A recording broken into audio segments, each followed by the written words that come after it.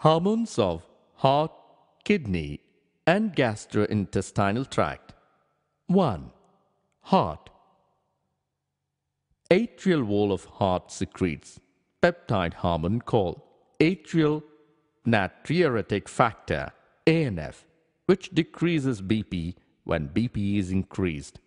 ANF is secreted which causes dilation of blood vessels. This reduces BP. 2. Kidney.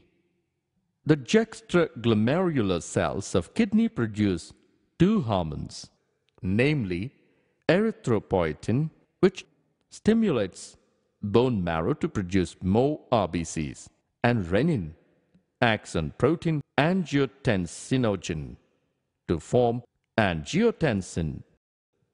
Angiotensin raises BP to increase ultrafiltration. 3. Gastrointestinal tract. Endocrine cells present in different parts of gastrointestinal tract secrete four major peptide hormones. 1.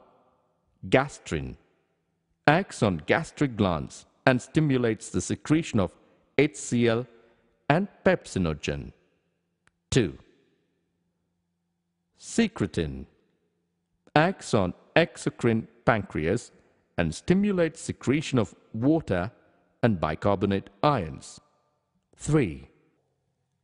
Cholecystokinin acts on both pancreas and gallbladder and stimulates the secretion of pancreatic enzymes and bile juice. 4. Gastric inhibitory peptide inhibits gastric secretion and motility. Several non-endocrine tissues secrete hormones called growth factors. These factors are essential for normal growth and tissues and their repairing and regeneration.